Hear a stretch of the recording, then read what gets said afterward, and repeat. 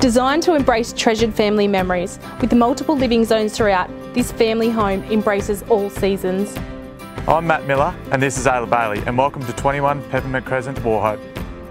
North to rear with a generous 730 square metre block, perfectly utilised with a flexible family floor plan. As soon as you enter, you'll have a comforting sense of feeling at home.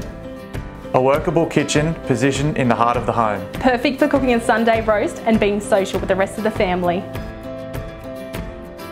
Two living areas, one designed for intimacy and family movie nights, with a wood fireplace that heats the entire home and one ideal for entertaining. With glass sliding doors that open out to alfresco dining, this is where family gatherings will be remembered.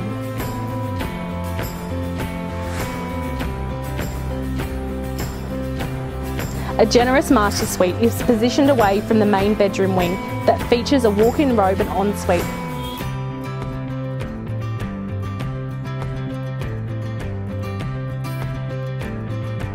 Plenty of space for all the family toys with a double garage and drive-through access to the backyard. Yes, Matt, you could put your boat here.